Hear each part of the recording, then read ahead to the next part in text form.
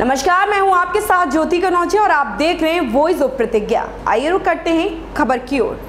Haryana number की registered school बसें बिना टैक्स के राजस्थान में संचालित स्कूलों में दौड़ती। परिवहन विभाग की सहमति से हरियाणा राज्य के परिवहन विभाग में रजिस्टर्ड स्कूल बसें बिना टैक्स के राजस्थान में संचालित स्कूलों में बच्चों को लाने में ले जाने के लिए सड़कों पर दौड़ लगा रही है।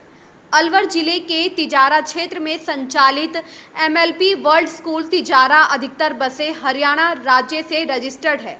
जिनमें से कई बसों का तो हरियाणा राज्य का भी टैक्स खत्म हो चुका है।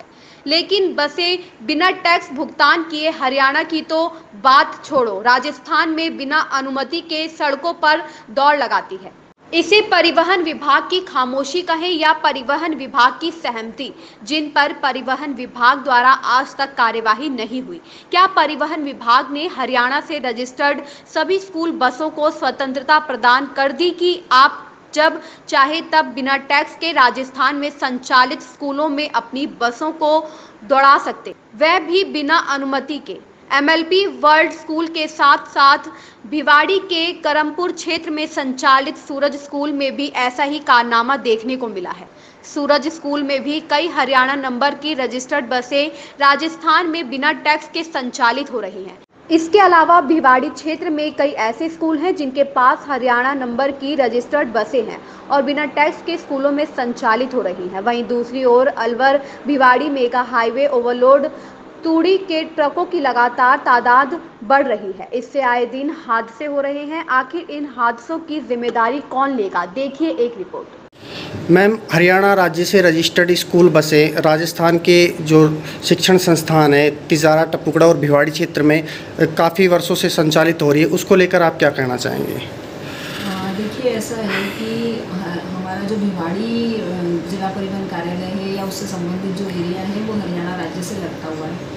तो इस बात की संभावना रहती है कि हरियाणा राज्य में पंजीकृत वाहन या लगातार उनका आवागमन बना रहे या वो आते जाते रहें। जहाँ तक स्कूली वाहनों की बात है तो अगर वो बालवाहिनी के बिना संचालित हो रहे हैं या उनके द्वारा परमिट नहीं लिया हुआ है राजस्थान राज्य से तो हमारी जो फ्लाइंग है या जिला परिवहन अधिकारी विभाग है, उनके माध्यम से जाँच करवा कर और उनके विरुद्ध जो भी नियमानुसार कार्रवाई बनती है, वो पहले भी की गई है।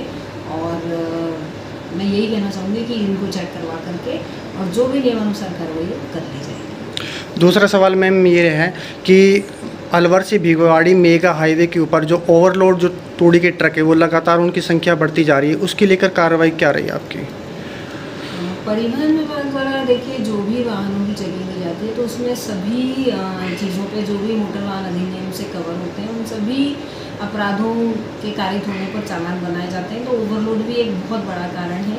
जिस पर कार्रवाई होती है और हमारे तीनों ही कार्यालय, चाहे वो जिला परिवहन कार्यालय भिवाड़ी हो, चाहे अलवर प्रादेशिक परिवहन कार्यालय हो, या हमारा कर संग्रह केंद्र जो शाजापुर हो, तीनों जगह मिला के हमारी जो ग्यारह फ्लाइंग स्क्वाड है, वो लगातार प्रवर्तन कार्रवाई करती है। एक भी दिन ऐसा नहीं होता कि प्रवर्तन कार्रवाई ना की जाए और ओवरलोड जो भी वाहन जिनकी आप बात कर रहे हैं, उन पर भी विभाग या कार्यालय समय समय पर कार्रवाई करता आया है। और फिर भी यदि कोई विशेष बात है तो मैं इसको दिखवा करके चेक ऐसी ही खबर से जुड़े रहने के लिए आप देखते रहिए वॉइस ऑफ़ प्रतिज्ञा